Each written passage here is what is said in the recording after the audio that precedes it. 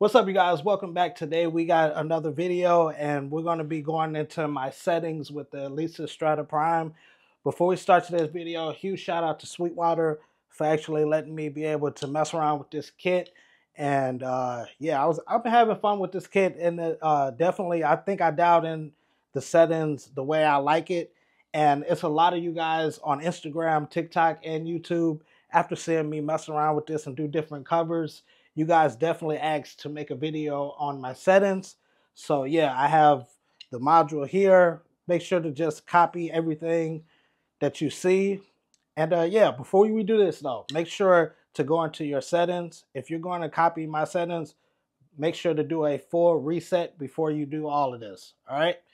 So one of the kick drums that I do is the 24 inch birch kick drum. I have the volume for this all the way up.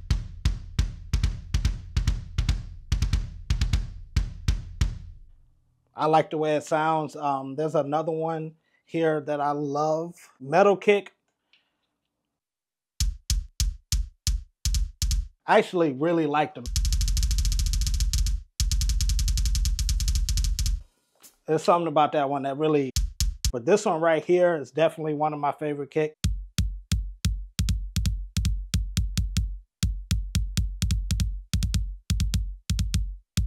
This one's it's a really dope one, especially when you're playing different gospel tracks and stuff.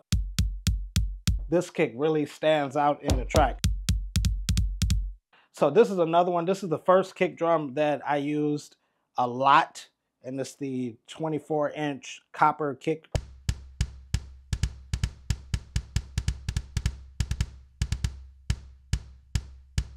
That kit is that's I, I really love that one. But the kick drum I'm using right now, that's this one right here. All right.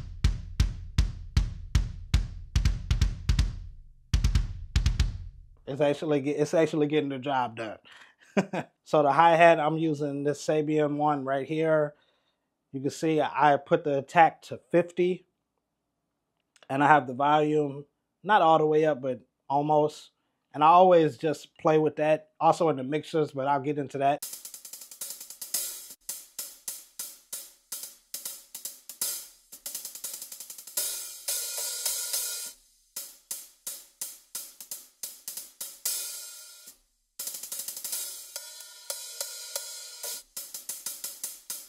That's pretty much the hi-hat. So when it comes to the cymbals, the most important thing that I'm noticing with the cymbals is just bringing the attack up. It doesn't really matter which cymbal I'm picking. Um, for the most part, there are times where, like this one,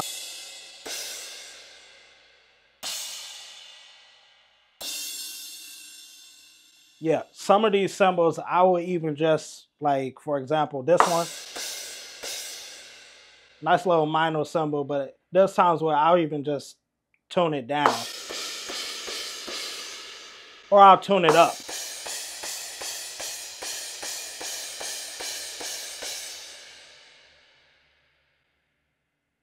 Yeah, that's a little thing that I do with some of the cymbals.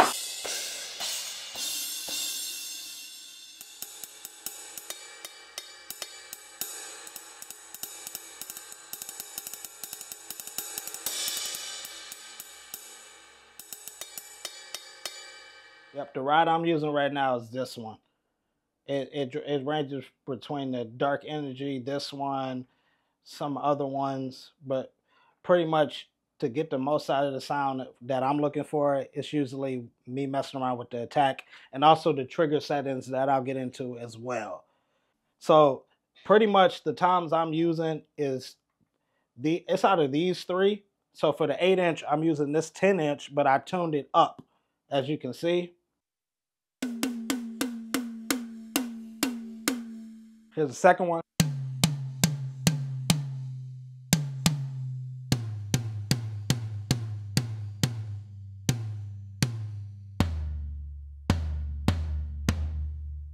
This is the only one that I used a different tom for, but I'm gonna go back so you can you can copy this stuff on the module. So the 8 inch.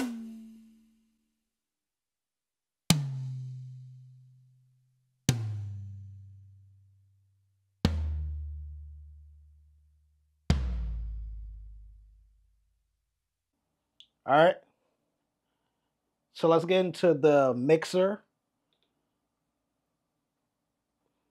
All right, so for the mixer, it's pretty much, I'm literally just gonna go through on the module. You can just copy what I have here. So for the kick, I pretty much got the air compressor and I picked the heavy. All right. And this is pretty much the settings I have here for the kick. Here's what I got for the snare. I have a few things on here. I have, let's see here. I have this one. Where are we at? This one right here. And I just click the option for more body. and I have that actually on all of the toms. All of the toms I have that. The snare and the toms. Let's see here for this EQ Let's see.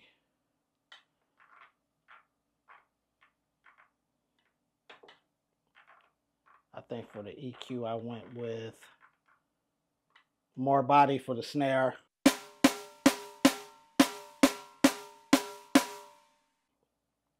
So like I said, that's pretty much what I have for all of the toms.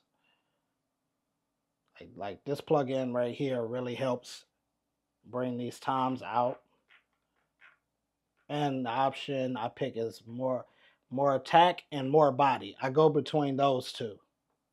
All right.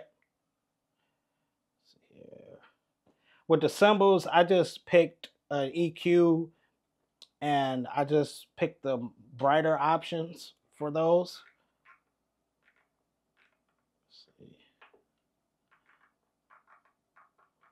Yep, for the hi-hat brights, and all the other cymbals, I just did cymbals bright one or two either one that's what I did for all the cymbals. okay and here's another thing when it comes to the mix for the drums for reverb I use the default reverb FX amount 80% and 41% reverb. I use that for all of them kick snare toms everything. Just to make that as simple as possible. All right, so let me get into the the triggers. So after talking with Alesis, pretty much what I learned from them is every drum and all the hi-hats and the cymbals, you want the curve to be on log one. I don't know why. I, I mess around with some of them. So it's just going to be that consistent sound no matter how soft or hard you hit it but I noticed that log one's been the most consistent with getting it to feel like a regular hi-hat. And it's the same with the drums and the other cymbals. And um, yeah, let's go to advance. So when it comes to this hi-hat with the open and close thing, so this one's really tricky. I find myself always having to go into the the hi-hat setting and doing this whole uh, setup thing process. I usually do this.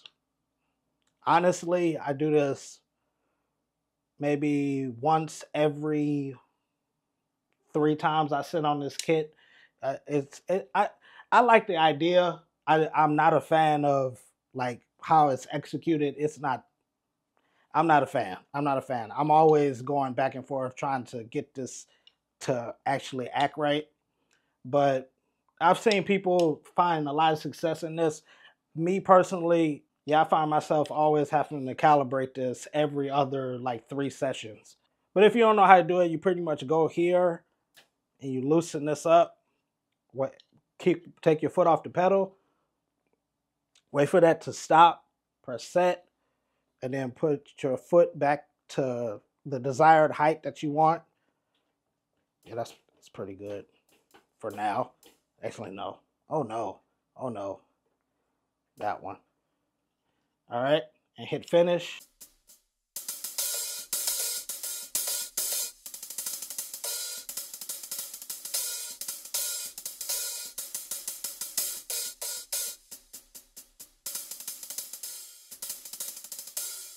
So yeah, that pretty much that that feels good for now. Um, those are the settings for my hi-hat here. For the advanced settings, the top, bottom, actually the top, I need, I usually have the top around 4,000. I don't even know why it's there. Let's see.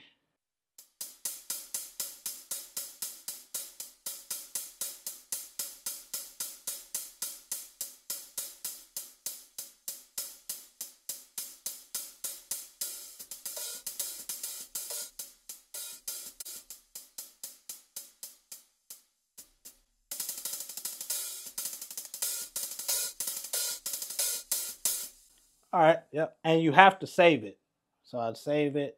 So when it comes to the learn X talk, you pretty much go through each drum, the cymbals, the hi-hats, anywhere the triggers are and hit it as hard as you can. And it like pretty much logs in where it's getting picking up those sounds. And it, it attempts to cancel that stuff out. So if I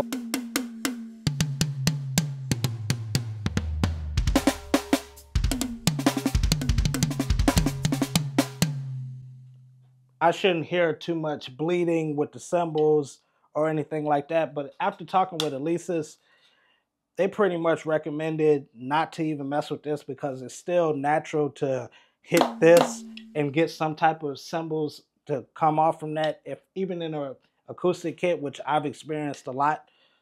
So yeah, you can mess with this. I've messed with it, and clearly it's still not the best. Like I said before, you was you're gonna be able to hear me while I'm talking, you're gonna hear these cymbals go off. And I have this set already. So I don't know if this is really it's doing something, but not not enough to really worry too much about the setting. The only time they mention that this is really something to dial into is if you're playing this like in a live gig where you have a bass amp next to you and you have the keyboard player on the other side. Their vibration will definitely pick up off these cymbals and trigger these when you don't hit them. So that's the that's definitely when you need to work on messing with these settings. Let's see here. Let's go here. One more thing I forgot to mention when it comes to setting up these drums is the stack option right here. So let me go here. So anytime perfect, here's a tip. Anytime you, you really need to learn to use this hit to select so you'll be able to minimize the time to set the stuff up. So after doing that, I'm messing right now with the rim of the snare. So you can click any of these. See here, I'm using the 13 inch brass snare. And what I like to do is tune the sound down. So I have it here at 631. Let's bring it all the way back up and you'll see what I'm talking about. Let's see here.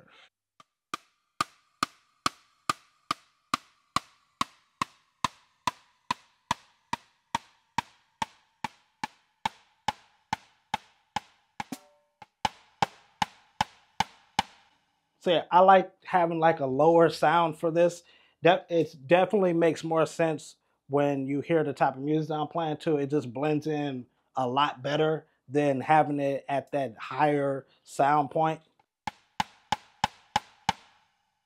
All right, I have the attack at 85%. I have the volume for this stack almost all the way up. Actually, I need to turn it up even more, to be honest. All right, so after you do that, you can just X out of stacks and then just continue setting up your drums. Let's go back to stacks real quick because I have one more stack here. So right here, I added a clap, obviously. And you can do that. You can literally go through from the search, you can hit library, actually class, and go all the way to percussion. And then here's the clap right here. And uh, yeah, it has all type of different percussions, but I find it easier to just use the clap here.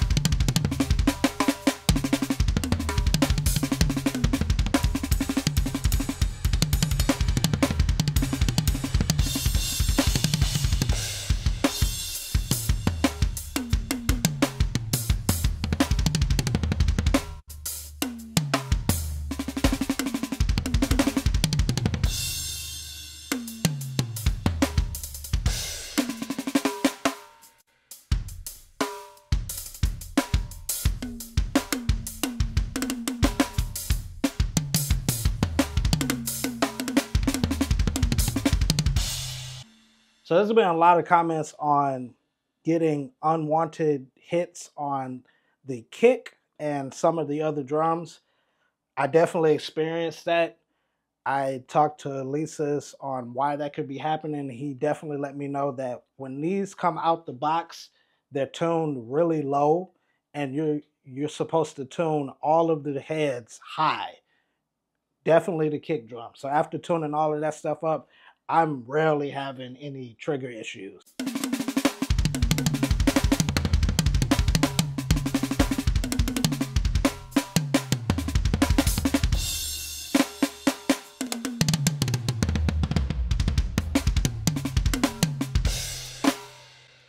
So uh, yeah, that's that's my settings. That's pretty much some different tips on what I learned when it comes to dealing with issues with the kit.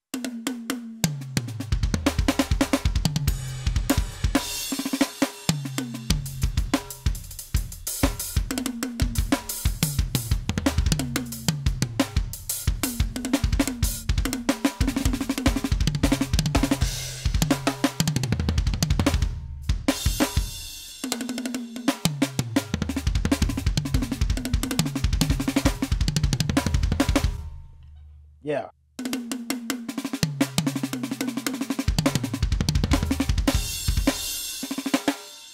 It's definitely a nice kit. I definitely see a lot of things that would make this kit even better if it's looked at and changed.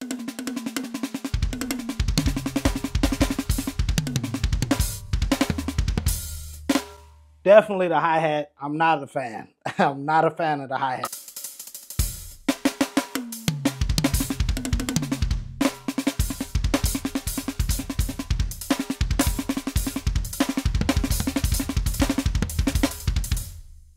But then again, I've seen so many videos on YouTube of different drummers finding the perfect setup for the hi hat. They're just not, you know, they're not talking about what they did. They just said they found a perfect setup for it.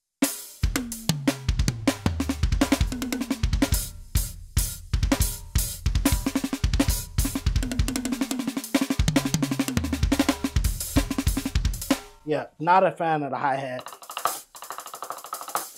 Once again, it's a great idea, great concept. I'm just not a fan. I, I would prefer two different, two hi-hats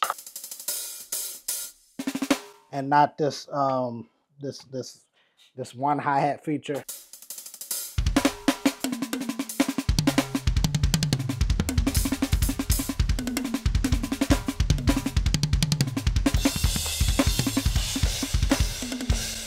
I love how these cymbals feel for sure.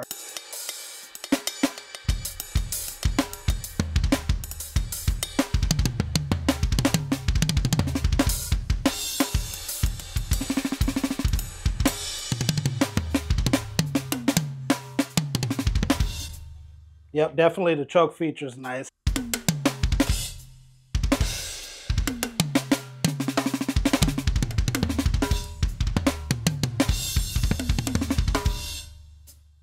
I like the fact that you can do it with, just your stick too.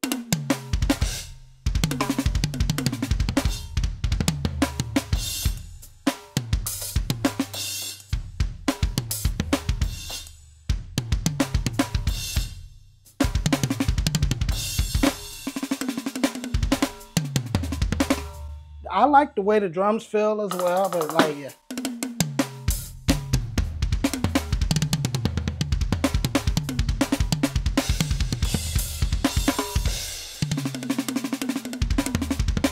So yeah, that's my settings. Huge shout out to Sweetwater for letting me check this out.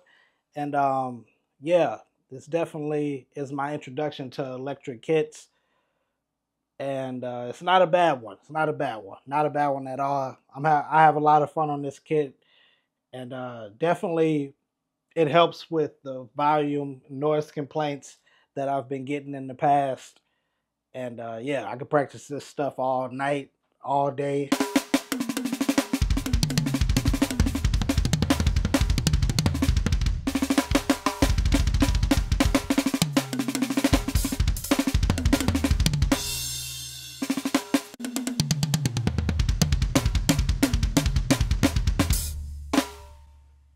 This is definitely a dope kit.